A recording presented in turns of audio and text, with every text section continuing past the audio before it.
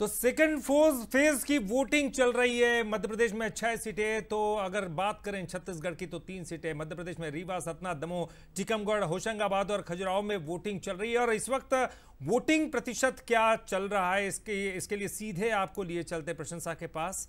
प्रशंसा vote you बिल्कुल शुक्रिया, ललित। तो देखिए 24 का महासंग्राम लगातार जारी है और लगातार हम देख रहे हैं मतदाताओं में उत्साह काफ़ी ज़्यादा देखने को मिल रहा है। हर एक पोलिंग बूथ पर मतदाताओं की संख्या बढ़ती जा रही है। हालाँकि कुछ ऐसी पोलिंग बूथ है जहाँ पर मतदाता नहीं पहुँच रहे लेकिन जैसे जैसे दिन बढ़ रहा है, उसके साथ ही यहाँ पर वोटिंग प्रतिशत भी बढ़ रहा है। अब तक आपको बता दें कि अट्ठाईस दशमलव एक पाँच प्रतिशत वोटिंग हुई है।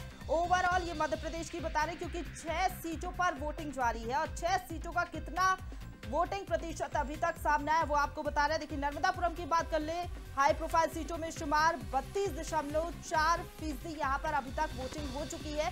और जैसे जैसे समय आगे बढ़ेगा, उसके साथ ही वोटिंग प्रतिशत भी आगे बढ़ेगा। दमोह की बात कर ले तो छब्बीस दशमलव आठ चार प्रतिशत यहाँ पर वोटिंग अब तक हो चुकी है। अभी भी मतदाताओं में उत्साह देखने को मिल रहा है और ये माना जा रहा है कि जैसे जैसे दिन बढ़ेगा, वोटिंग प्रतिशत भी यहाँ पर बढ़ सकता है। खजुराहो, अगली सीट यहाँ पर अट्ठाईस प्रतिशत वोटिंग हो चुकी है। मतदाता पहुँच रहे हैं, अपने घरों से निकल रहे हैं, वोट करने के लिए। खजुराहो सीट की बात करें तो ये भी वीआईपी सीट है। सभी की नज़र इस सीट पर भी टिकी हुई है कि कौन यहाँ से इस बार बाजी मारेगा। तो ये हमने आपको वोटिंग प्रतिशत बताया कि कहाँ पर कितना वोटिंग प्रतिशत हुआ है। अगली सीट की ओर बढ़ेंगे, बात करेंगे रीवा की। यहाँ पर चौबीस दशमलव चार छह प्रतिशत वोटिंग अब तक हो चुकी है और यहाँ पर भी यही अनुमान लगाया जा रहा है कि वोटिंग प्रतिशत आगे और बढ़ेगा। अगली सीट की बात करें, सतना, ये भी हाई प्रोफ़ाइल सीटों में शुमार। यहाँ पर तीस दशमलव तीन दो प्रतिशत वोटिंग अब तक हो चुकी है। हालाँकि मतदान करने के लिए जो मतदाता है वो अपने घरों से निकल रहे हैं। अभी भी बड़ी संख्या में मताधिकार का प्रयोग करने के लिए जनता अपने घरों से निकल रही है। तो ये वोटिंग प्रतिशत हमने आपको बता दिया, लेकिन आगे और भी अपडेट देंगे। जैसे जैसे जो है दिन ढलेगा वैसे वैसे वोटिंग प्रतिशत भी बढ़ेगा। लेकिन चलिए, सीधा रुक करेंगे। नेक्स्ट स्टूडियो का ओवर टू यू ललित बिल्कुल आप देखिए ललित कि जिस तरह आप वोटों का प्रतिशत आप देख रहे हैं ये मुझे लगता है जब अब अभी 12 बज रहा है और 12 बजे यानी 11 बजे का प्रतिशत रहा होगा इसमें कुछ और इजाफा हो गया होगा लेकिन ये ये भी बता रहा है कि अभी और मेहनत करने की ज़रूरत है दोनों दलों के लोगों को भी लगना चाहिए कि ज़्यादा से ज़्यादा लोग और हम तो लगातार यही अपील कर रहे हैं कि लोग घरों से निकले और वोट करें लेकिन आपके पास शायद कुछ और खबरें आ रही उस पर बिल्कुल कोई बहाना नहीं चलेगा किसी तरह का कोई बहाना नहीं। पहला काम वोटिंग करना है। लेकिन लगातार मनोज जी ये कह रहे हैं कि गर्मी है गर्मी बढ़ती जाए विंद की बात करें बुंदेलखंड दोपहर में बहुत ज़्यादा गर्मी पड़ती है लेकिन मॉर्निंग में जिस हिसाब से वोटिंग परसेंटेज दिखाई देना चाहिए था उतना नहीं दिया है। बिल्कुल देखिए हाँ उम्मीदें तो की जाना चाहिए लेकिन मुझे लगता है कि अब जो वोट का प्रतिशत बढ़ेगा वो दोपहर तीन बजे के बाद मतदाता ज़्यादा से ज़्यादा घरों से काम कर कर निकलेंगे क्योंकि शादियों का मौसम है और दूसरी तरफ़ गर्मी की आप बात कर ही रहे हैं और घरों में कटाई भी चल रही है इस समय तो किसानों के पास भी काम है। मुझे लगता है तीन बजे के बाद लेकिन हाँ, छत्तीसगढ़। का भी कुछ आंकड़ा है प्रशंसा के पास तो सीधे चलना चाहिए प्रशंसा के पास। बिल्कुल, शुक्रिया मनोज जी। तो देखिए, गर्मी भले ही पड़ रही हो, भीषण गर्मी का दौर है, लेकिन फिर भी जो मतदाता हैं, अपने घरों से बाहर निकल रहे हैं, सिर्फ़ इसलिए क्योंकि उन्हें अपने क्षेत्र का सांसद चुनना है। इस बार किस पर वो भरोसा जताएँगे, इस पर सभी की नज़र टिकी हुई है। लेकिन अब छत्तीसगढ़ की जरा बात कर लेते छत्तीसगढ़ की तीन सीटों पर वोटिंग लगातार जारी है। यहाँ पर वोटिंग प्रतिशत क्या कह रहा है किस सीट पर? देखिए ओवरऑल वोटिंग प्रतिशत की बात करें तो पैंतीस दशमलव यहाँ पर वोटिंग हो चुकी है। ये तीन सीटों का वोटिंग परसेंटेज आपको बता रहे हैं। लेकिन अब सीटों वाइज भी आपको बता देते हैं कि कितना वोटिंग प्रतिशत रहा है। कांकेर सीट की बात करें तो उनचालीस दशमलव तीन आठ प्रतिशत यहाँ पर वोटिंग हो चुकी है। देखिए, काफ़ी ज़्यादा वोटिंग हुई है क्योंकि कांकेर नक्सल प्रभावित इलाका है। ऐसे में यहाँ पर कुछ संवेदनशील पोलिंग सेंटर्स भी लेकिन फिर भी मतदाता पहुँच रहे हैं। महासमुंद की बात करें तो चौतीस दशमलव चार तीन प्रतिशत यहाँ पर वोटिंग अब तक हो चुकी है और माना जा रहा है कि वोटिंग प्रतिशत में इजाफा भी होगा समय के साथ। राजनगांव, जो कि हाई प्रोफ़ाइल सीटों में शुमार है, यहाँ पर बत्तीस दशमलव नौ नौ प्रतिशत, यानी कि जो बाकी की दो सीटें रही हैं, उनके हिसाब से उनके कंपैरिजन में यहाँ पर कम वोटिंग हुई है।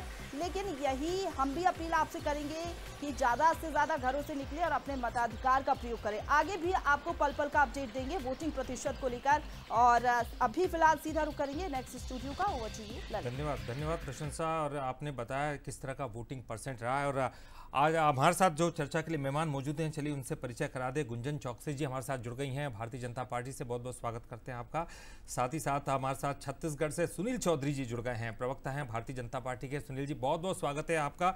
अजय साहू जी भी हमारे साथ जुड़ गए हैं, कांग्रेस से प्रवक्ता हैं। अजय जी, आपका भी बहुत बहुत स्वागत और हमारे साथ लगातार जुड़े हुए दिनेश गुप्ता जी, आपका तो स्वागत है ही और लगातार चर्चा आपसे जारी है।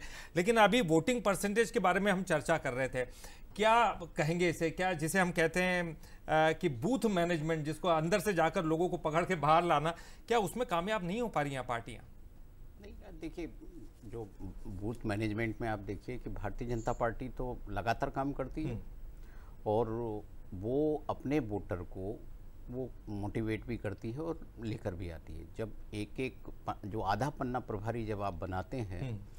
तो वो केवल इसलिए नहीं बनाते हैं कि आपको एक पन्ना उनको आधा पन्ना देना है। तो वो तो ये उनकी ज़िम्मेदारी है कि वो बूथ तक लोगों को लेके जाएँ। हम्म। और उसी के आधार पर आगे की रणनीति पार्टी बनाती है कि बूथ लेवल पर उनको लगता है कि कहीं कमज़ोर बूथ है तो उसके आधार पर फिर वो वहाँ उस तरह का होमवर्क करते हैं जो बात बात बात आती है ना कि बेनिफिशरी स्कीम्स की आती है। बहुत अलग अलग तरह की जो चीज़ें हम देखते हैं ना वो आती हैं। फिर जो है पार्टी उन पर वर्क करती है। तो कांग्रेस में तो अब जो देख रहे हैं कभी भी बूथ पर उतना काम नहीं करते हम्म। कांग्रेस का जो वोटर है अभी अभी भी आप मध्य प्रदेश को देखेंगे ना यहाँ तो सो मोटो जो वोट करता है हम्म। वो कांग्रेस का वोटर है उसके लिए वो ये कोशिश नहीं करती कि उसको निकालना जो कैंडिडेट होता है उसके नेटवर्क पर निर्भर करता है कई बार तो ये देखते हैं कि कांग्रेस में हमेशा ये समस्या आती है हम्म। कि उनका पोलिंग एजेंट ही नहीं होता तो जब पोलिंग एजेंट नहीं होगा तो फिर बूथ पर वो कैसे काम करेगा तो ऐसे में भी उसको वोट मिलते हैं। कहीं ना कहीं जो कमिटेड वोटर है वो अपने आप जाता है। ये हम्म। भाजपा में भी होता है कमिटेड वोटर जिसको आपको कहने की ज़रूरत नहीं होती। तो एक तरफा मामला रहता है कि भाजपा तो इस पर वर्क कर रही है लेकिन कांग्रेस नहीं करती। इसलिए जो आप देख रहे हैं कि लगातार कांग्रेस की जो स्थिति हो रही है देश में कमज़ोर हो रही है। बिल्कुल आपने ठीक कहा और भारतीय जनता पार्टी जैसा आप भी कह रहे हैं, वो इस पर बड़ा तेज़ी से काम करती है और यही उसके संगठन की मजबूती है, यही पहचान है। गुंजाइश से प्रतिक्रिया लेंगे, लेकिन इससे पहले जरा खजुराहो चल देते। खजुराहो से कोई बड़ी खबर आ रही है। खजुराहो से पंडित धीरेन्द्र कृष्ण शास्त्री ने मतदान किया है। गृहग्राम गड़ा पहुंचकर उन्होंने वोट डाला है। वोट देने के बाद मतदाताओं से अपील की है, मैंने जलपान भी नहीं किया, पहले किया मतदान, सभी को मतदान ज़रूर करना चाहिए, ऐसा उन्होंने कहा है। बड़े चर्चा में रहते हैं पंडित धीरेन्द्र शास्त्री। वोट करने पहुँचे हैं और वोट करने पहुँचे हैं तो उन्होंने आशीर्वाद नहीं दिया किसी को, बल्कि अपील की है। ये तस्वीरें आप देखिएगा, इस समय नज़र आ रहे हैं। भगवा वस्त्र नहीं, बल्कि नीले कुर्ते में वो वहाँ पहुँचे हुए हैं और एक मतदाता के रूप में वोट कर रहे हैं।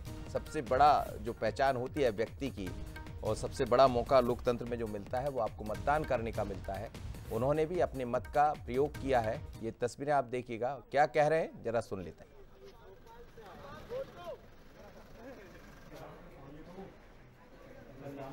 ये खजुराहो में आता है जहाँ वो पहुँचे हैं। 203 गड़ा ये देखिए।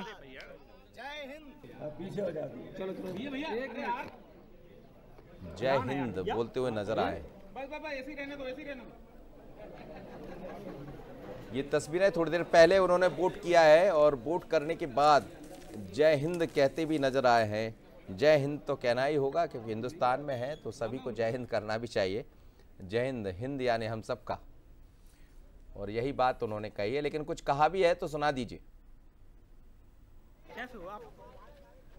उन्होंने उन्होंने कुछ कहा है नहीं है फ़िलहाल लेकिन देखिए वोट करते हुए बहुत अपील हाँ, कर दी मुझे अपील कर दी अंदर अंदर। उन्होंने लोगों को कह दिया कि जाइए मैंने तो जलपान भी ग्रहण नहीं किया है। हम्म। आप भी जाइए घर से और ये महत्वपूर्ण चीज़ है और टालिएगा नहीं क्योंकि अक्सर हमने देखा गर्मी का बहाना बनाते हैं लोग। अक्सर लोग तो रोज ही गुजरते हैं उसी रास्ते से लेकिन वोटिंग करते हैं। हमने एक और तस्वीरें दिखाई थी और वो तस्वीरें आशुतोष राणा की थी। आई वो भी देखते हैं कि आशुतोष राणा ने भी वोटिंग की और क्या कुछ कहा? थोड़ी देर पहले ही आशुतोष राणा गाडारवाड़ा पहुँचे थे। वो उनका गृह नगर है जहाँ उन्होंने वोट किया है।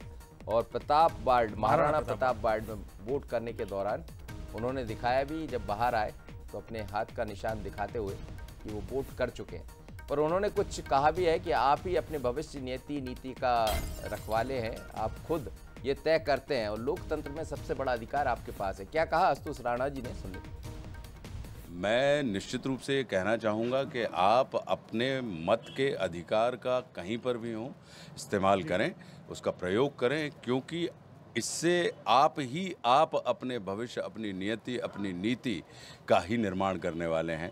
तो हमारे बुज़ुर्गों ने यदि हमें आ, स्वतंत्रता नाम का वरदान दिया है तो इस स्वतंत्रता को बरकरार रखने का और इसे पुष्पित पल्लवित और प्रखर करने का आ, जो दायित्व है वो हम लोगों के ऊपर ही जाता है। बड़ा अच्छा बोलते हैं खासकर हिंदी पर बहुत हिंदी। बढ़िया पकड़ है उनकी। और एक बार जब उनसे पूछा गया कि आप अंग्रेज़ी में बात चल रही थी तो उन्होंने कहा मैं अंग्रेज़ी में बात क्यों करूँ? मैं हिंदी में बोलूँगा आप सुनिए मेरी बात।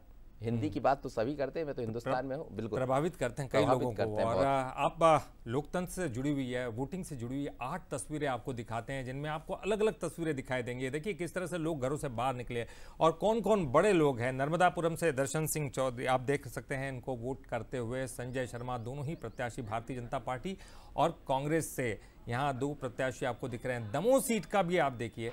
दमोह से राहुल सिंह आपको दिख रहे हैं वोट करते हुए। नारायण त्रिपाठी बीएसपी के उम्मीदवार सतना से हैं। बहुत कुछ कर सकते हैं और बहुत कुछ नहीं भी कर सकते। इनके बारे में चर्चाएँ तो बहुत ऐसा कहा जा रहा है कि अब बहुत ज़्यादा कुछ नहीं कर सकते। जी। अब नहीं करने का समय है। सारे पत्ते खुल चुके हैं उनके। पत्ते खुल चुके हैं और सतना से सिद्धार्थ कुशवाहा कांग्रेस के हालाँकि बीजेपी के लिए बहुत महत्वपूर्ण ये सीट है।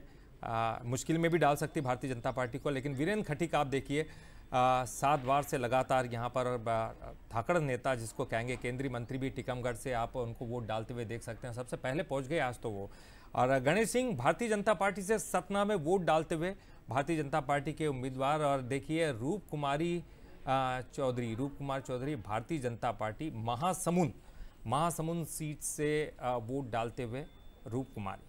तो बिल्कुल ये आठ तस्वीरें आप देख रहे थे, जिसमें वो प्रत्याशी जो चुनाव मैदान में है, चाहे नामदापुर की बात करें, दमोह, सतना सतना, टीकमगढ़, और उसकी महासमुंद की बात भी हम कर रहे थे। लेकिन सीधी प्रतिक्रिया ले लेते हैं, इस वक्त हमारे साथ अलग अलग मेहमान जुड़े हैं। उसके बाद अगली खबर भी आपको दिखाएँगे। सबसे पहले गुंजन जी वोट शेयर की बात हो रही है, और दिनेश जी भी यही कह रहे थे कि भारतीय जनता पार्टी अपने तरह से काम करती रही पिछली बार, पहले जो चरण में उसमें आशातीत, यानी जो उम्मीदें आप लोगों ने की होगी, शायद उसकी तरफ़ आप नहीं बढ़े।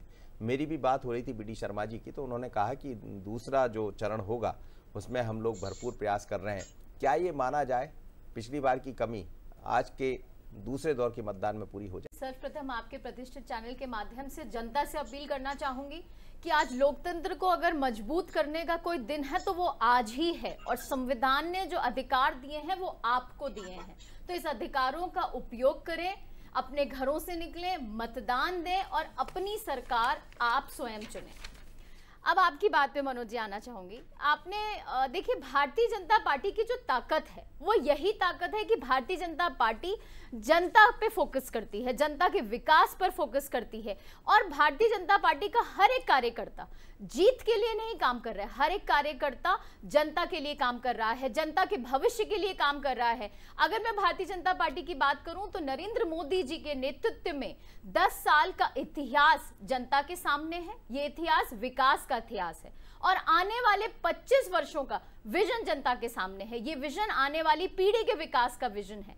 तो जहाँ पर इतिहास और विजन जहाँ दोनों का एक मिलन होता है वहाँ पर जनता के प्रति जो विश्वास है वो जग रहा है। जनता अपने घरों से निकलेगी और हर एक कार्यकर्ता काम कर रहा है चाहे वो बूथ पर काम हो चाहे आ, हर लेवल पे अपने अपने तौर पर अपने अपने दायित्व को कार्यकर्ता निभा रहा है। जनता तक ये मैसेज पहुँचा रहा है कि आपको निकलना है अपने अधिकारों का इस्तेमाल करना है और सरकार चुननी है और मोदी जी को फिर से इस बार प्रधानमंत्री के रूप में अगर देखना है अगर विकास चाहिए तो मोदी सरकार चाहिए। और इसके लिए हम बिल्कुल कार्यरत हैं। चलिए बीजेपी अपना काम कर रही है ललित लेकिन कांग्रेस की प्रतिक्रिया अजय साहू जी से ले लेना चाहिए। जी जी छत्तीसगढ़ से हैं। जी। और अजय जी आप क्या कुछ कहेंगे? आपको कम वोटिंग प्रतिशत परेशान करता हुआ दिखाई दे रहा है या नहीं दे रहा है? किस तरह की स्थितियाँ आप देख रहे हैं? क्योंकि मुद्दे भी तो हमको भटकते हुए दिखाई दे रहे हैं। पूरे देश की बात कीजिएगा आप मध्य प्रदेश की बात भी कीजिए। आंकड़े आए हैं ललित हाँ जी। जी जी। 11 बजे तक के जो आंकड़े आए हैं वो दर्शा रहे हैं कि कहीं ना कहीं वोटिंग प्रतिशत जो है वो कम हो रहा है लेकिन हमें विश्वास है कि आने वाले समय में जो वोटर्स हैं वो पोलिंग बूथ तक पहुँचेंगे और वोटिंग प्रतिशत जो है वो हर बार से अधिक होगा, ऐसा हम मानते हैं। सबसे बड़ी बात यह है कि इस बार के चुनाव में देखने को मिला कि मुद्दे पूरी तरीके से नदारत थे। माननीय प्रधानमंत्री जी ने 2014 में जो बातें कही थी 2019 में जो बातें कही थी, उनको लेकर उन्होंने कोई सफ़ाई नहीं दी, उनको लेकर उन्होंने कोई बात नहीं कही। नहीं कही। उन्होंने जो बातें कही थी कि सबके खाते में पंद्रह लाख आएँगे, काला धन आएगा। काला धन किसका किसका जमा है, उसकी सूची जारी की जाएगी। ये सारी चीज़ें नदारत थी। तीस रुपए में पेट्रोल मिलने लगेगा, दो करोड़ नौकरियाँ मिलेगी। इसके विषय में भारतीय जनता पार्टी का कोई भी नेता बात करने तक को तैयार नहीं है। ये पूरे चुनाव के कैंपेन के दौरान माननीय प्रधानमंत्री जी ने जिस तरीके से झूठ का सहारा लिया और एक सफ़ेद झूठ लोगों के सामने परोसने का काम किया, इससे भी कहीं ना कहीं प्रधानमंत्री जी की गरिमा प्रधानमंत्री पद के गरी, की जो गरिमा है, वो उनकी शब्दावली के चयन को लेकर के तार तार हुई है। इससे प्रधानमंत्री जी के पद की गरिमा को ठेस पहुँची है। उसका सम्मान प्रधानमंत्री जी को करना चाहिए, ऐसा मैं निवेदन करूँगा। देश की जनता लगातार देख रही है। देश की जनता को आने वाले 25 साल का विजन नहीं चाहिए देश की जनता को चाहिए कि आपने 10 वर्षों में जो काम किए हैं आपने जो बातें इस देश के लोगों के साथ कही थी जो वायदे आपने इस देश के लोगों के साथ किए थे उस पर आप कितने खड़े खड़े उतरे हैं आपको अपना रिपोर्ट कार्ड पेश करना था तो आपने वो काम को छोड़ करके अजय जी लेकिन अजय जी लेकिन देखिए छत्तीसगढ़ की मूल समस्या नक्सलवाद है उसको लेकर तो बहुत बड़ी बात प्रधानमंत्री जी ने कह दी। नक्सलवाद भी हटा देंगे माओवाद को जड़ से खत्म कर देंगे किसी के हाथ में बंदूक नहीं रहने देंगे। तक लगातार भारतीय जनता पार्टी की सरकार थी। हम्म। केंद्र में भारतीय जनता पार्टी की सरकार थी। नक्सलवाद से निपटने के लिए जो काम पाँच वर्ष के हमारे शासनकाल में हुए हैं हम्म। वही काम अब आगे बढ़ रहे हैं इससे पहले तो डॉक्टर रमन सिंह जी के कार्यकाल में जिस तरीके से नक्सलवादी समर्पण किया करते थे तो केवल भार मार बंदूक ही मिलती थी लेकिन हमने जिस तरीके से फोर्स का उपयोग किया अब आप देख रहे हैं कि जब हम उनके मान में घुस करके मारने का काम करते हैं। हमारे जवान जब सफलता हासिल करते हैं तो आप देखिएगा कि किस तरीके से ए के फोर्टी सेवन और एल एलएमजी राइफल जो है वो जब्त होती है। तो अगर मनसा साफ़ है तो नक्सलवाद समाप्त होनी सुनील चौधरी जी जवाब दीजिएगा। सारे लोग इस मुद्दे पर एकजुट हैं। लेकिन मेरा ये कहना है कि आप कभी बात को धर्म पर ले जाते हैं कभी आप बात को मंगलसूत्र पर ले जाते हैं आपने आपको देखना होगा कि आपने प्रधानमंत्री रहते हुए जो वायदे किए थे आपने उस चलिए जवाब ले लेते हैं। सुनील चौधरी जी सुनील चौधरी जी क्या मुद्दों से भटक जाती भारतीय जनता पार्टी? जो मुख्य मुद्दा है चुनाव आते आते आप दूसरी तरफ़ चले जाते आरोप है आप पर अजय साहू जी का। जी राम राम जय जोहार जय छत्तीसगढ़। देखिए कांग्रेस मुद्दा विहीन हो चुकी है। और वही उनकी जो बौखलाहट है, वो धीरे धीरे नज़र आ रही है। ये मुद्दों की बात तो छत्तीसगढ़ में कभी किए नहीं। एक आते हैं, बोलते हैं, मोदी जी का सिर फोड़ना है। एक कहते हैं मोदी मरेगा। तो ये जिस प्रकार से जिस भाषा का प्रयोग छत्तीसगढ़ में कर रहे थे, इनकी बौखलाहट दिखने लगी थी। और नक्सलवाद पर क्या लड़ाई लड़े आप? जब मुठभेड़ होती है, हमारे सेना के, हमारे डीआरजी के, हमारे पुलिस के जवान अपने शौर्य का प्रदर्शन करते हैं। और आप चले जाते हैं राज्यपाल महोदय के पास कि भाई फर्जी मुठभेड़ हो गई। इनके पूर्व मुख्यमंत्री, जो कि अभी लोकसभा का चुनाव लड़ रहे हैं राजनांदगांव से, आज जनता जवाब देने निकलेगी साहब। उन्होंने फर्जी मुठभेड़ कह दिया था। फिर बाद में जाकर के ठीक करने की बात करते हैं। अरे, हिड़मा के गाँव में, पुवर्ती में जा करके नक्सलियों के बाद में घुस करके वहाँ पर कैंप स्थापित किए हैं और वहाँ पर भारत का तिरंगा पहली बार शान से लहराया है। तो इनको तकलीफ़ तो होनी है। ये तो नक्सलियों के समर्थक बन के रहे ना। पाँच साल तक इनकी साठ चली। इनके खुद के लोग जो है नक्सली जो है वो कहते थे इनके खुद के लोगों के बारे में कि हमसे कुछ वादा किए थे वो पूरा नहीं कर रहे हमारी सरकार है। काहे को टारगेट किलिंग करते थे? अब नक्सलवाद के खिलाफ निर्णायक लड़ाई छत्तीसगढ़ में हो रही है। माननीय अमित शाह जी के नेतृत्व में मोदी जी के मार्गदर्शन में और माननीय विष्णुदेव शाह जी के नेतृत्व में आप देखेंगे घुस करके मार रहे हैं। हमने पहले कहा कि आप जिस भाषा में बात करेंगे वैसा जवाब देंगे। आपसे कहा था नक्सलियों से आइए बात करिए। चलिए चलिए सर बंदूक का जवाब बंदूक से आप कह रहे हैं कि जिस भाषा में बात होगी उसी भाषा में जवाब दे रहा है लौटेंगे आपकी तरफ़। लेकिन आप देखिए चुनाव से पहले ललित किस तरह मुद्दे बदल गए? जब प्रथम चरण की हम बात कर रहे थे तो मुद्दे कुछ अलग रहा करते थे। लेकिन जैसे जैसे चुनाव यानी अन्य जो हम्म। ये कहा जाए कि बदलती दिखाई दे रहे हैं। उन चरणों में मुद्दे भी बदल रहे हैं। फिर से वही पुराने मुद्दे यानी सैम पित्रुदा ने कुछ कहा बीजेपी ने तुरंत लपक लिया। कुछ ऐसी चीज़ें होती जा रही हैं जिनको लेकर मुद्दे बदलते जा मुझे लग रहा है ये प्रशंसा बहुत अच्छे से बताएगी कि हम्म। आखिर किस तरह मुद्दे बदले। जी प्रशंसा।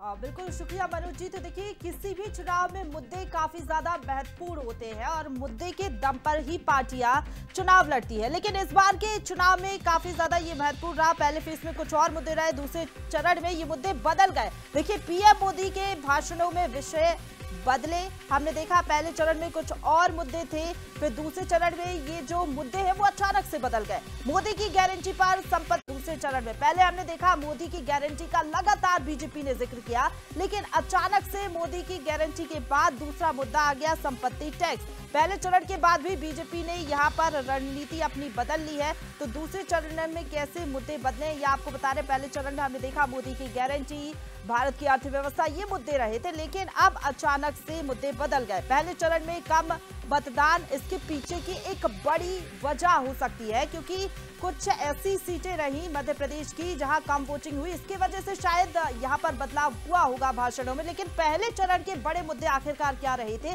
वो जल्दी से आप समझ लीजिए। मोदी की गारंटी, देखिए, प्रधानमंत्री नरेंद्र मोदी के फेस पर ये पूरा चुनाव लड़ा जा रहा है और पहले चरण के मुद्दे कुछ इसी के इर्द गिर्द थे।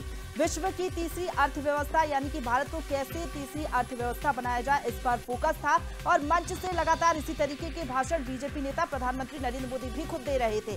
राम मंदिर का निर्माण। ये बड़ा मुद्दा था जो कि बीजेपी ने खूब मंचों से भी कहा कि हमने राम मंदिर बनाया और इसी के इर्द गिर्द पूरा चुनाव लड़ा जा रहा था। लेकिन दूसरे चरण के बड़े मुद्दे क्या? अचानक से मुद्दे बदल गए। संपत्ति का एक्सरे जो कि लगातार बीजेपी ये मुद्दा उठा रही है। कांग्रेस को घेर रही है इस पूरे मुद्दे को लेकर।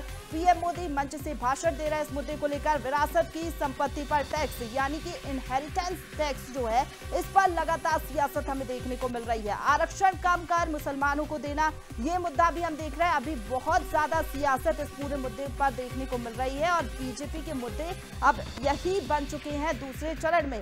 लेकिन आगे ये भी देखना होगा कि इन मुद्दों का असर क्या जनता पर पड़ता है, पार्टियाँ और कैसे आगे बढ़ती हैं, इस पर भी हम बातचीत करेंगे, आगे और भी आपको डिटेल देंगे, लेकिन अभी सीधा रुक करेंगे नेक्स्ट स्टूडियो का ओवर टू यू ललित बिल्कुल, बहुत धन्यवाद आपका प्रशंसा, लेकिन आप समझिए कि किस तरह मुद्दे बदले हैं। मोदी की गारंटी की बात हुई, मोदी की गारंटी जब आई तो राहुल गांधी ये कहने लगे, ये कांग्रेस की गारंटी, वो बीजेपी की गारंटी थी, ये कांग्रेस की गारंटी, दोनों गारंटी अपने तरह से चली गई।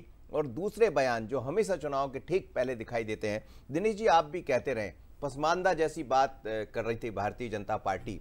आपने ज़िक्र भी किया है उसका।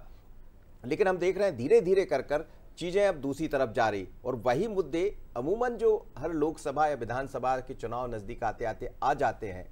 गलतियाँ भी इसको माना जा सकता है, मुद्दे से भटकाव भी माना जा सकता है। लेकिन क्या जनता, जिसे कहा जाता है लोकतंत्र का सबसे बड़ा अधिकार जिनके पास है, वो इस बात को समझ पा रहे नहीं वो समझती है, देखिए। ये क्या है कि जो पसमानदा विधानसभा चुनाव के समय हम देख रहे थे, वो भाजपा अपने फेवर में करने की कोशिश कर रही थी। आज भी वो पसमानदा को अपने साथ जोड़ने की बात नहीं कर रही। आज मुसलमानों का ज़िक्र क्या एक समूह के तौर पर हो रहा है, एक वर्ग के तौर पर हो रहा है। और जो बात हो रही है, वो पोलराइजेशन की हो रही है।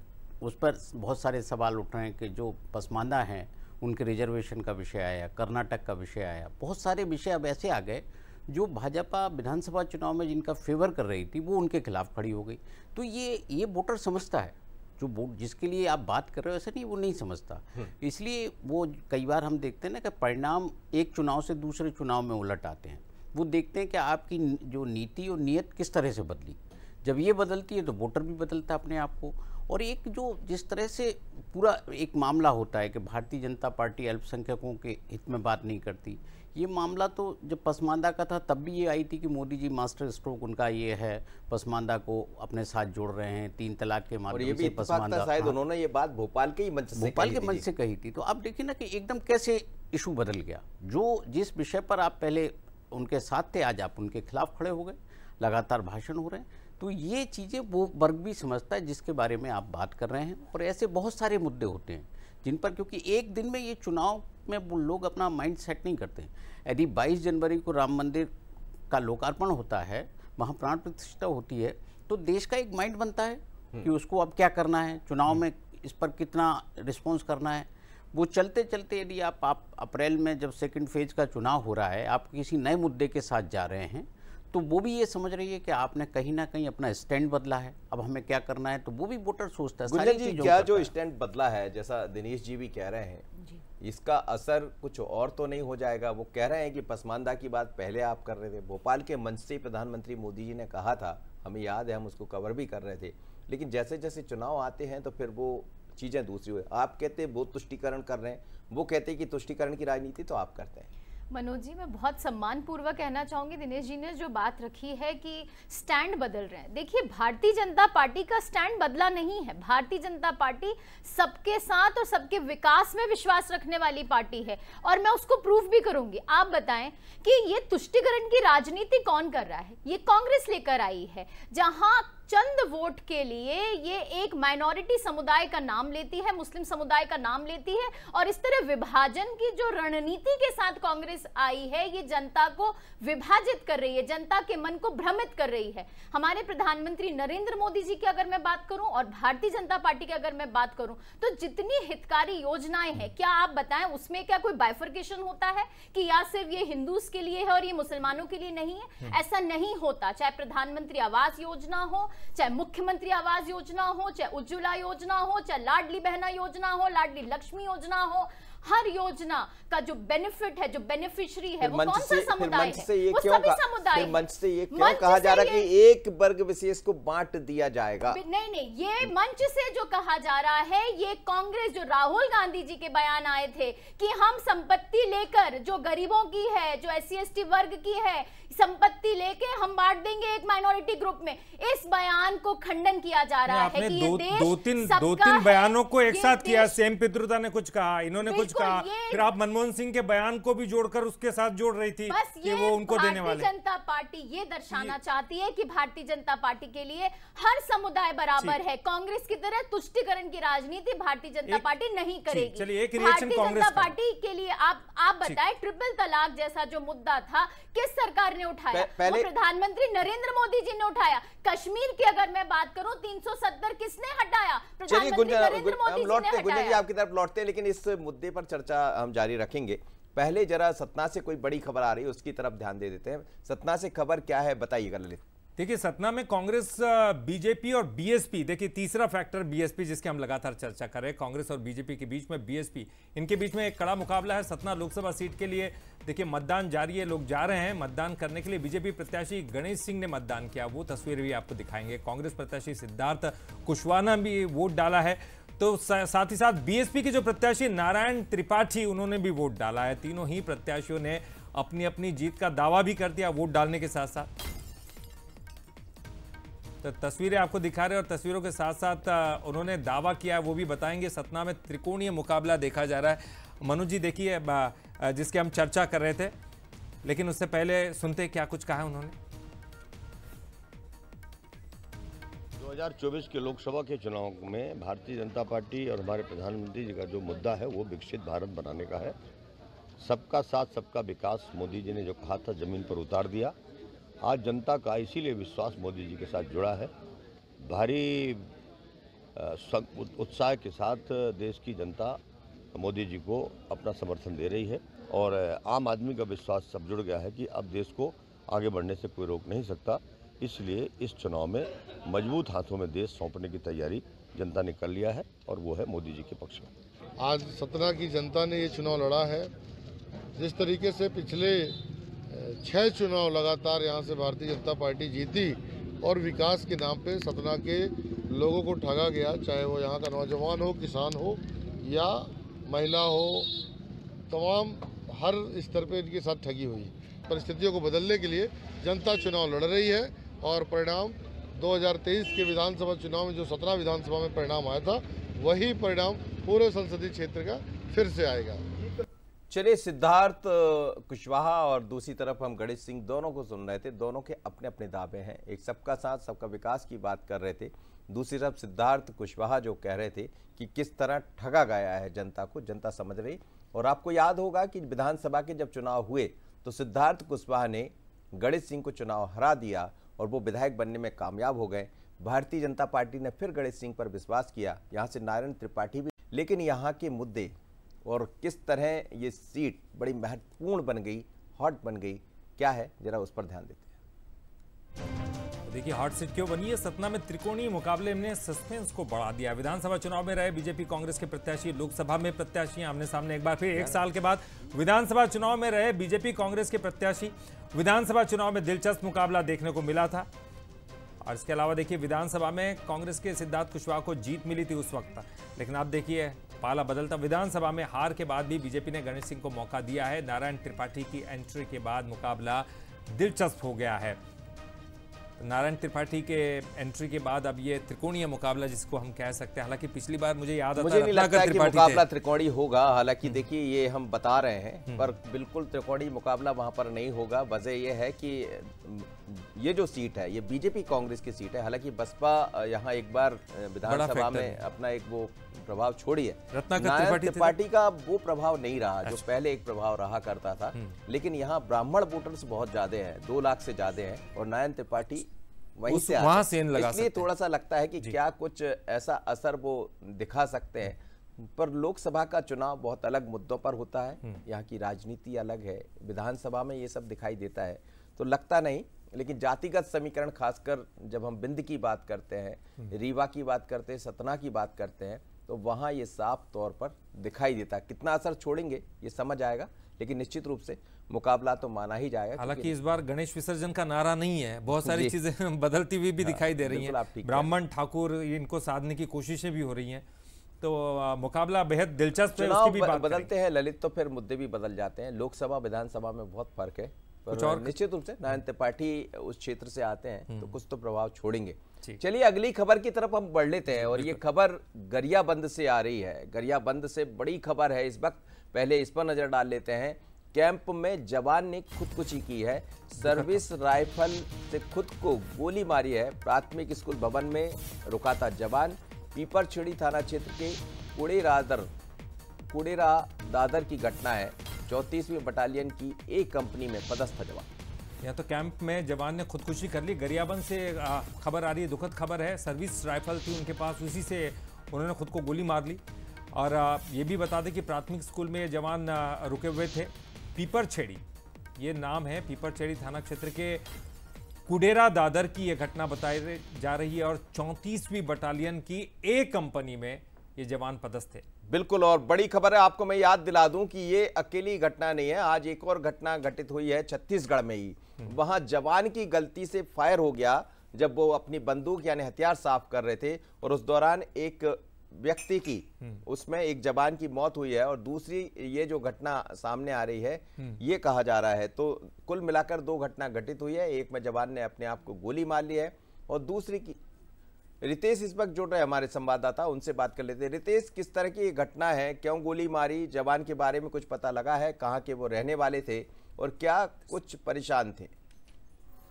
जी, मैं बता देना चाहूँगा कि ये जो घटना है गरियाबंद के मतदान केंद्र की की घटना है, जहाँ अस्थायी रूप से जो कैंप बनाया गया था, वहाँ से जवान रुका हुआ था और मतदान के दौरान ही यह घटना घटित हुआ, जहाँ जवान ने खुद के सर्विस राइफल से अपने आप को गोली मार दी, गोली मार कर आत्महत्या कर दिया और अभी बताया जा रहा है कि चुनाव ड्यूटी में जवान यहाँ पहुँचा हुआ था, जो कि मध्य प्रदेश के राजपुर गाँव के रहने वाले हैं और ये चौंतीसवीं बटालियन की एक कंपनी में पदस्थ था जवान और आत्महत्या के कारण अभी पता नहीं लग पाया है। फ़िलहाल पुलिस इस मामले की पूरी जाँच में जुटी हुई है।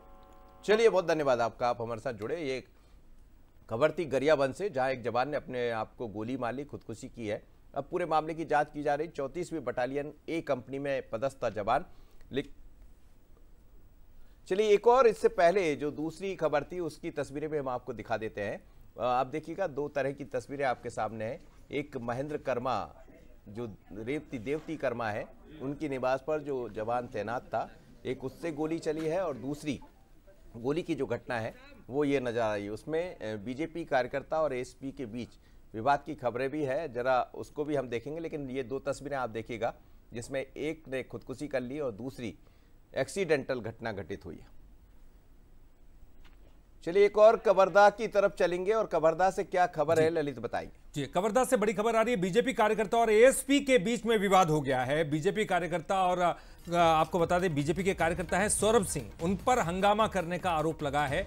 भगवा गमछा पहनकर बूथ में जाने से मना किया था और इसी बात को लेकर ये विवाद हो गया। तो जो है लगातार पुलिस जो सुरक्षा व्यवस्था में तैनात रहती है उनकी अपनी कुछ जिम्मेदारियाँ रहती हैं और उसको लेकर वो शायद टोका टोकी करती हैं उसी बात को लेकर देखिए ये तस्वीर आपको दिखा रहे हैं। सुन लेते हैं जरा क्या बोल रहे हैं आप।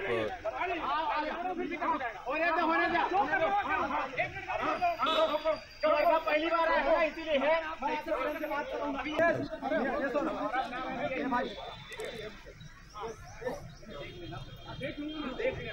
बहुत देखे आपके जैसे, आए और गए।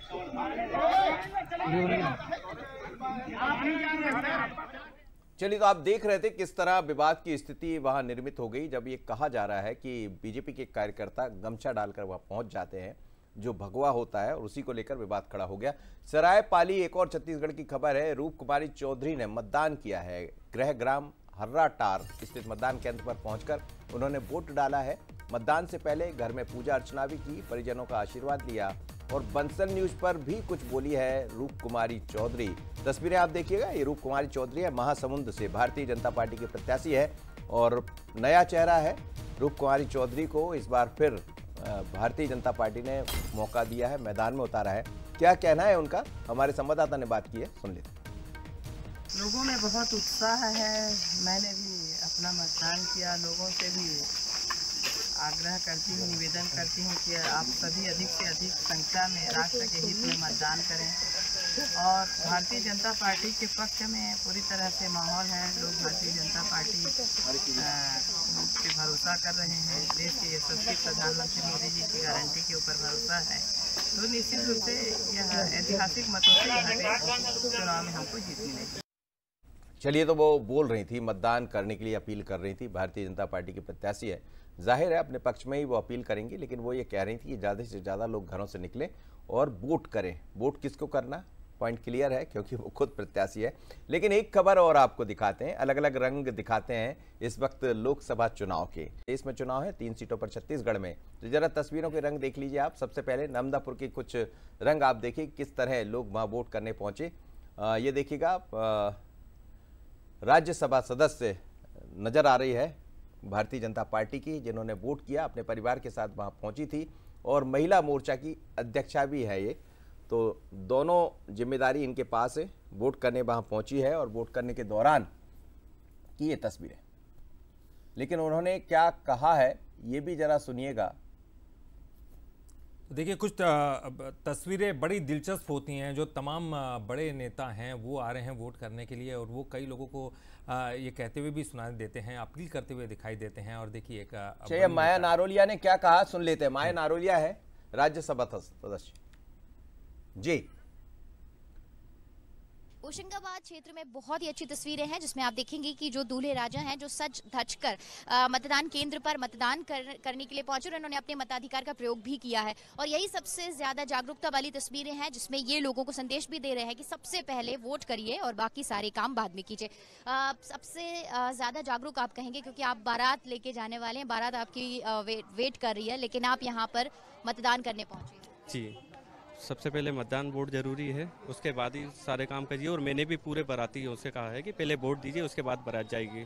और मैंने मेरी जो होने वाली वाइफ है उनको भी कहा है कि पूरी फैमिली के साथ पहले वोट करिए आप वोटिंग आपके जो परिवार के सदस्य हैं वो तैयारियों के साथ साथ घर की तैयारियों के साथ साथ पहले अपने अपने बूथ पर पहुँचे हैं? पहले पहले वोट डाली है फिर तैयारियाँ कर रहे हैं।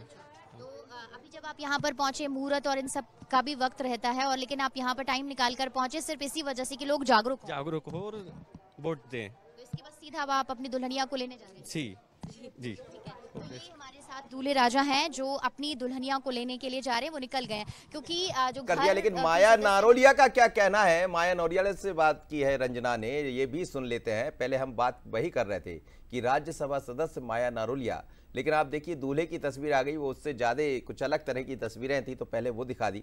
अब माया जी ने क्या कहा है? उनकी क्या माया है लोकसभा चुनाव को लेकर? जरा सुन लीजिए। राज्यसभा सांसद माया नारोलिया अपने पूरे परिवार के साथ मतदान करने के लिए पहुँची और उन्होंने अपने मताधिकार का प्रयोग किया है।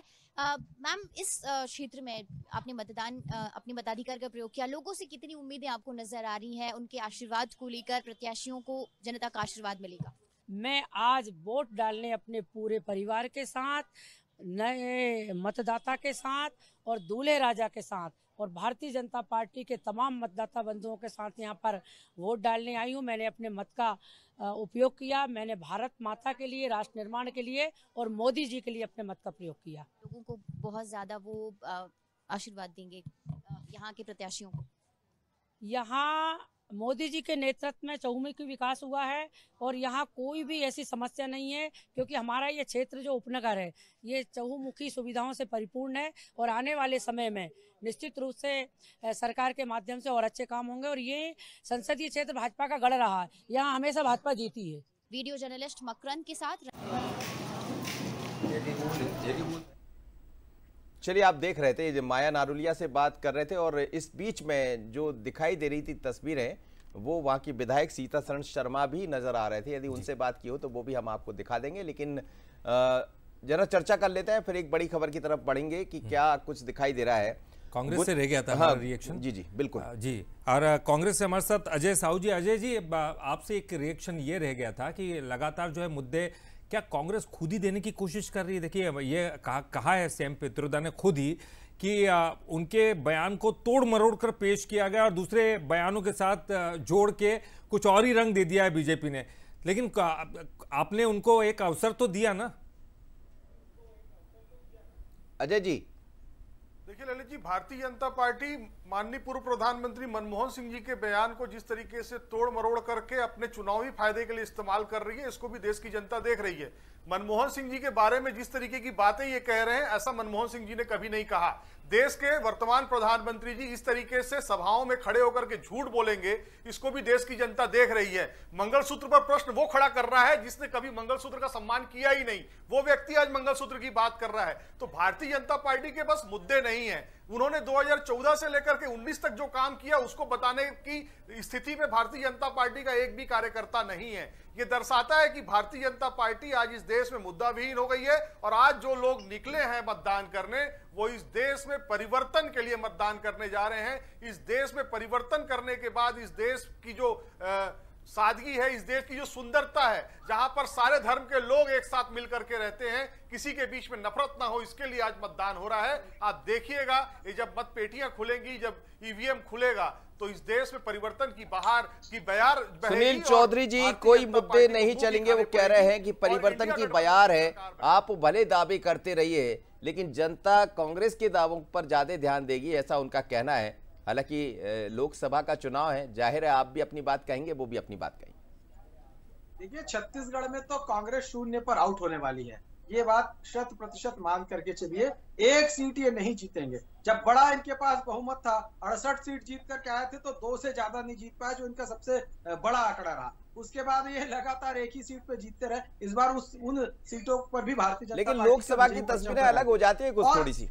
मैं मैं वही बता रहा हूँ। अभी ये मंगलसूत्र की बात कर रहे थे, मोदी जी पर बोल रहे थे और मोदी जी के बयान पर बोल रहे थे। मैं पूछना चाहता हूँ, इनको गांधी परिवार को या कांग्रेस को केवल गांधी परिवार का मंगलसूत्र क्यों दिखता है? अरे, सेना के जवान अपना शौर्य का प्रदर्शन करते हुए अपने शहीद हो जाते हैं। पूरे देश ने देखा है कि बहुत सारे लोगों के मंगलसूत्र नछावर हुए, पर इनको गांधी परिवार का दिखेगा। ये नक्सलियों को शहीद बताने वाले लोग, ये ये इस प्रकार की बातें करते हैं, शर्मनाक बात करते हैं ये। देश की बात कभी नहीं करेंगे। जब करेंगे एक परिवार की बात करेंगे। एक गांधी परिवार के जाकर के चरणों में अर्पित होने की बात करेंगे। मैं स्पष्ट रूप से पूछना चाहता हूँ भारतीय जनता पार्टी के अभी आप देखेंगे छोटा सा कार्यकाल हमको छत्तीसगढ़ में अभी मिला है।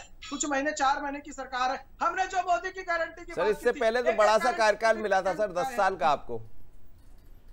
जी। इससे पहले तो बड़ा सा कार्यकाल आपके पास था बहुत बड़ा कार्यकाल था दस साल। जी, पंद्रह साल में जो विकास हुआ है, वही विकास हुआ उन्होंने विनाश किया है। पाँच साल में जनता में अलोकप्रिय की हो बोलिए अजय जी आप भी बोल लीजिए खाते हो आपने राम वन पद गमन के लिए क्या किया? आपकी सरकार ने पंद्रह वर्षों तक जिस तरीके से छत्तीसगढ़ के लोगों का शोषण किया है उसको भी प्रदेश की जनता ने देखा है। आज जब मतदान होगा तो आपके पूरे पुराने जो काले कारनामे हैं उसका मुंहतोड़ जवाब छत्तीसगढ़ की जनता देगी। वाली सरकार थी कांग्रेस की छत्तीसगढ़ के युवाओं को नग्न प्रदर्शन करना पड़ा। आपको मजबूर किया किसानों को इकतीस सौ रुपए देने का। किसानों को खालिस्तानी कहने वाले नक्सली कहने वाले लोग आज किसानों के चरणों में शरणागत हैं। तो केवल और केवल कांग्रेस पार्टी और भूपेश बघेल जी की सरकार के कारण आज आप किसानों के सामने सर लौटते हैं लौटते हैं छत्तीसगढ़ की तरफ़ भी वापस लौटते हैं। गुंजन जी गुंजन जी बड़े दौरों में बहुत परिवर्तन हुआ है। अब देख रहे हैं प्रधानमंत्री का कुछ ज़्यादा रुख हुआ मध्य प्रदेश की तरफ़। क्या मध्य प्रदेश से पहले दौर के जो मतदान हुए जिसका प्रतिशत कम हुआ जिसका हम ज़िक्र करते हैं कुछ चिंताएँ बढ़ी है? जिसके कारण आज अमित शाह भी मध्य प्रदेश में है।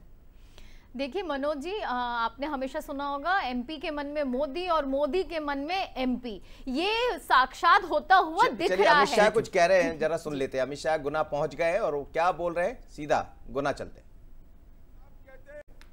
उनको कश्मीर से क्या लेन देन अरे खरगे साहब आप इस देश को नहीं जानते हो। गुना का बच्चा बच्चा कश्मीर के लिए जान देने के लिए तैयार है, जान देने के लिए। भाई और बहनों, मुझे बताओ, कश्मीर से धारा 370 जानी चाहिए थी या नहीं जानी चाहिए थी? अरे, ज़ोर से बोलो, जानी चाहिए थी या नहीं जानी आतंकवाद समाप्त होना चाहिए था या नहीं होना चाहिए? सत्तर सत्तर साल तक कांग्रेस पार्टी धारा 370 को अपने अनोरस बच्चे की तरह गोदी में खिलाती रही। मोदी जी ने 5 अगस्त 2019 को एक झटके में 370 को समाप्त कर दिया। भाई और बहनों, ये राहुल बाबा मुझे डराते थे कि 370 मत हटाओ मत हटाओ। खून की नदियाँ बह जाएगी। अरे राहुल बाबा, एक कांग्रेस की सरकार नहीं है, नरेंद्र मोदी की सरकार है। पाँच साल हो गए, खून की नदियाँ छोड़ो, कंकड़ चलाने की हिम्मत नहीं है, कंकड़ चलाने की। भाई और बहनों, मोदी जी ने इस देश से आतंकवाद और नक्सलवाद को समाप्त किया है। हमारे मध्य प्रदेश को नक्सलवाद से मुक्त करने का काम देश के प्रधानमंत्री नरेंद्र मोदी ने किया है। और भाइयों और बहनों, मुझे बताओ जरा, मन से बताना भाई, अयोध्या में राम मंदिर बनना चाहिए था या नहीं बनना चाहिए था? ज़ोर से बोलो, बनना चाहिए था या नहीं बनना चाहिए था? सत्तर सत्तर साल तक एक कांग्रेस पार्टी राम मंदिर के मुद्दे को अटकाती रही, लटकाती रही, भटकाती रही, और मोदी जी को आपने दूसरी बार प्रधानमंत्री बनाया। एक पाँच साल में ही केस भी जीता भूमि पूजन भी किया, और प्राण प्रतिष्ठा कर कर जय श्री राम कर दिया। भाई और बहनों और एक कांग्रेस पार्टी देखिए, सोनिया जी, राहुल जी, उनको निमंत्रण मिला। मगर रामलल्ला के प्राण प्रतिष्ठा में जाने की फुर्सत नहीं है।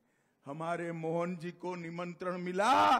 मोहन यादव जी पूरी कैबिनेट लेकर रामलला का दर्शन करने पहुँच गए। और जिस दिन प्राण प्रतिष्ठा होती थी उस दिन मोहन जी ओरछा के राज दरबार में प्रणाम करने के लिए पहुँच गए। भाई और बहनों, एक कांग्रेस पार्टी, इनका घोषणा पत्र सुनिए, ध्यान से पढ़िएगा। उन्होंने कहा है, हम पर्सनल लॉ को फिर से लागू करेंगे। मुझे बताओ भाइयों बहनों, पर्सनल लॉ से इनका क्या कहना है? मुस्लिम पर्सनल लॉ लाना चाहते हैं। ये देश में सरिया से देश चल सकता है क्या? ज़ोर से बोलो, चल सकता है। ट्रिपल तलाक फिर से लाना है।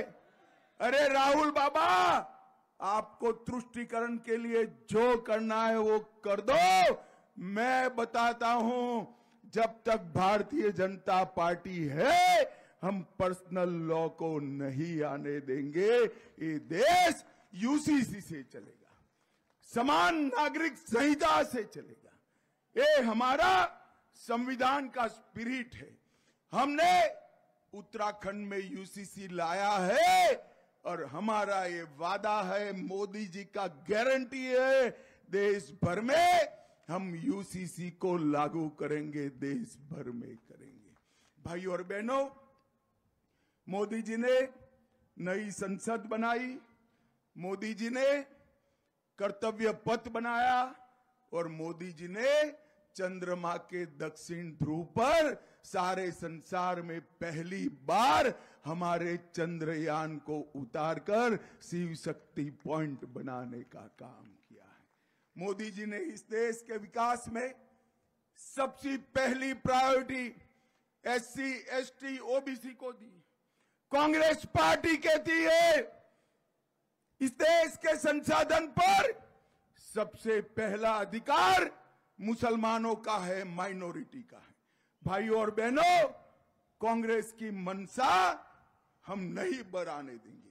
मैं आज गुना की धरती पर कह कर जाता हूँ, इस देश के संसाधन पर सबसे पहला हक गरीब का है, दलित का है, ओबीसी का है और हमारे आदिवासी भाइयों का है, इसको कोई झुठला नहीं।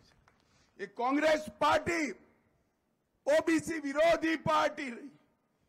काका साहेब कलेलकर कमीशन का रिपोर्ट सालों तक दबाकर रखा। मंडल कमीशन का रिपोर्ट सालों तक दबाकर रखा। केंद्र की संस्थाओं में ओबीसी को रिजर्वेशन नहीं दिया। ओबीसी आयोग नहीं बनाया। मोदी जी ने ओबीसी आयोग बनाकर पिछड़ा वर्ग को संवैधानिक सम्मान देने का काम नरेंद्र मोदी जी ने किया है। नीट की परीक्षाओं में, मेडिकल के दाखलों में और बाकी सारे केंद्रीय संस्थानों में 27 प्रतिशत आरक्षण ओबीसी को देने का काम नरेंद्र मोदी जी ने किया है। भाइयों और बहनों सिंधिया महाराज, यहाँ से भारतीय जनता पार्टी के प्रत्याशी है। हम सब में, हम सब में विकास में सबसे समर्पित अगर कोई व्यक्ति है तो गुना वालों, आपका ये महाराज विकास को सबसे ज़्यादा समर्पित सिंधिया परिवार ने इस क्षेत्र का जतन अपने बच्चों से ज़्यादा लालन पालन के साथ किया है। भारतीय जनता पार्टी की और केंद्र की, मध्य प्रदेश सरकार ने और मोदी जी की सरकार ने 260 करोड़ के खर्चे से national highway highway Kurwai Mungaoli Chanderi का निर्माण किया। 112 करोड़ गुना में नगर पालिका में आवास योजना में लगाए 45 करोड़ एयरपोर्ट बनाने में लगाए, तिरासी करोड़ स्वास्थ्य केंद्रों के लिए लगाए 560 crore Chanderi micro irrigation project में लगाए 90 crore Malhargarh micro irrigation project में लगाए और 100 करोड़ से 3000 hectare Gwaltoriya medium irrigation project को भी मंजूर करने का काम किया। भाई और बहनों 90 करोड़ से 2800 hectare Panheti medium irrigation project बनाया। माधवराव सिंधिया सिंचाई योजना को छह बाग बैराज निर्माण किया। चौसठ हज़ार मिलियन घन मीटर जल का भंडारण किया। पार्वती काली सिंह चंबल लिंक परियोजना से हमेशा के लिए यहाँ से सूखा विदाय हो जाएगा। भाई और बहनों, हमने ढेर सारी उपलब्धियाँ प्राप्त की है। मैं आज कहकर जाता हूँ। सिंधिया जी पर मोदी जी का वरस्त है, एक बार इनके सम्मान के जितनी लीड से जिताइए। एक क्षेत्र को हम आगे बढ़ाना चाहते हैं। भाई और बहनों, मुझे बताओ, राजा साहब को प्रचंड मार्जिन से जिताओगे क्या? जरा ज़ोर से बोलो, जिताओगे। मोदी जी को तीसरी बार प्रधानमंत्री बनाओगे। मध्य प्रदेश की 29 की 29 सीटें जिताओगे तो मेरे साथ दोनों हाथ उठाइए। उठाइए दोनों हाथ। विजय के संकल्प की मुट्ठी पीछे और प्रचंड आवाज़ से बोलिए, भारत माता की, भारत माता की, वंदे वंदे, जय श्री राम। जय जय श्री राम चलिए चलिए, अमित शाह बोल रहे थे इस वक्त गुना से जो बड़ी बात है उन्होंने कही है, सत्तर साल तक कांग्रेस राम मंदिर के मुद्दों को अटकाती रही, ऐसा उनका कहना है। रामलला की प्राण प्रतिष्ठा में जाने की बात कांग्रेस कभी फुर्सत नहीं मिली, वो बात भी नहीं करते थे। मोहन यादव ने पूरी कैबिनेट के साथ रामलला के दर्शन किए हैं और बड़ी बात यह है अमित शाह जी का आरोप भी है। कल ही उन्होंने अपनी बातों में कहा है पर्सनल लॉ बोर्ड का ज़िक्र किया है। उन्होंने कहा कि सरिया के आधार पर भारत कांग्रेस इस देश को चलाना चाहती है, राहुल गांधी चलाना चाहते हैं, ओबीसी आयोग बनाया जाएगा, जैसा उन्होंने कहा। मोदी जी ने इस बात को आगे बढ़ाया है और पीएम मोदी ने एमपी को नक्सलवाद से मुक्त किया है। तो ये कुछ दस बातें थी जो अमित शाह ने अपने उसमें कही है, लेकिन इसके अलावा बड़ा हमला था उनका राहुल गांधी पर और कांग्रेस पर।